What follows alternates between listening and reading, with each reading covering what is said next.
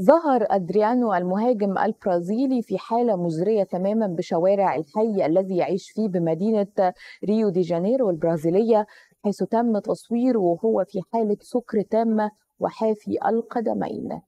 تعالت ضحكات أدريانو خلال الفيديو والتي تبدو غير واعية تماما وظهر حافي القدمين ولم يكن يرتدي أي نعال.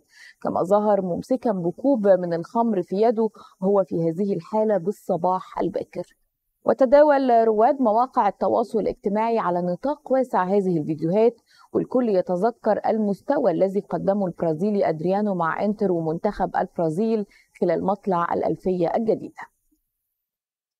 وهوى أدريانو من القمة إلى القاع بسرعة كبيرة جدا حيث كان الجميع يتذكر مستواه الرائع وحينها كان راتبه يتجاوز 100 ألف يورو في الأسبوع إلا أنه يعيش الآن في أحد الشوارع الفقيرة بالبرازيل.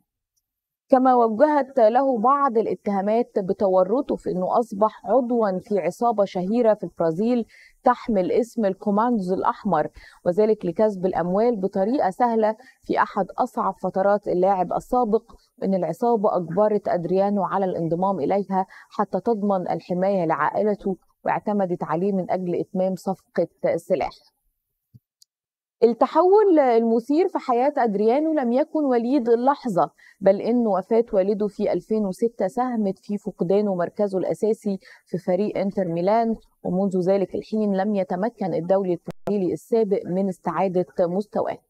أدريانو ساهم في تتويج البرازيل بلقبي كوبا أمريكا 2004 وكأس القارات 2005 بعد حصوله على جائزة الهداف وأفضل لاعب في البطولتين بعد إنتر انتقل أدريانو إلى مجموعة من الأندية في البرازيل وفي إيطاليا إلى روما وبعدها إلى فريق لوهافر الذي يلعب في دوري الدرجة الثانية في فرنسا لكنه فشل في فرض نفسه.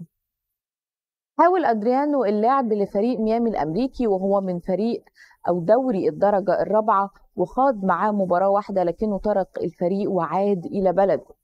تم القبض على أدريانو وحققت السلطات معاه في قضايا ترويج مخدرات والقيادة تحت تأثير الخمور وفي اتهامات أخرى وازداد الوضع سوءا مؤخرا بعدما خسر اللاعب كل ما جمعه من كرة القدم وظهرت له صور في أثناء عيشه في عشش صفيح في دي جانيرو هي المنطقة اللي بتمتلئ بالعصابات المسلحة التي تعمل في تجارة المخدرات. هي أنها ليست المرة الأولى التي تظهر فيها حياة أدريانو بهذا الشكل فاللاعب ارتبط سابقا بتهريب المخدرات وقتلت صديقته معه في السيارة. وعلى الرغم من اعتزال أدريانو كرة القدم الاحترافية لعدة سنوات إلا أن المشجعين انتظروا منذ فترة طويلة وداعا رسميا لائقا بموهبته حيث كان آخر ظهور احترافي لأدريانو في عام 2016 عندما لعب مباراتين لفريق ميامي يونايتد في دوري الدرجة الرابعة الأمريكي عن عمر يناهز 33 عام ومنذ ذلك الحين شارك أدريانو في العديد من المباريات الخيرية.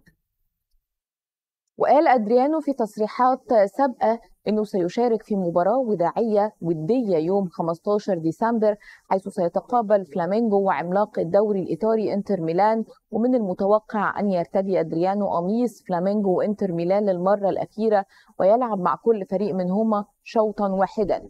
وقال أدريانو معلقا على مباراة الاعتزال طلب مني الكثير من الناس أن أقول وداعا على الرغم من أنني توقفت عن اللعب منذ بضع سنوات إلا أنني كنت بحاجة إلى هذه المباراة لإنهاء مشواري.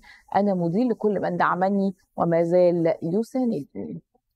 مشاهدينا دي كانت كل التفاصيل الخاصة لدينا. بشكر حضراتكم. شكرا جزيلا على المتابعة. كنت معكم أنا من يحيى وإلى اللقاء.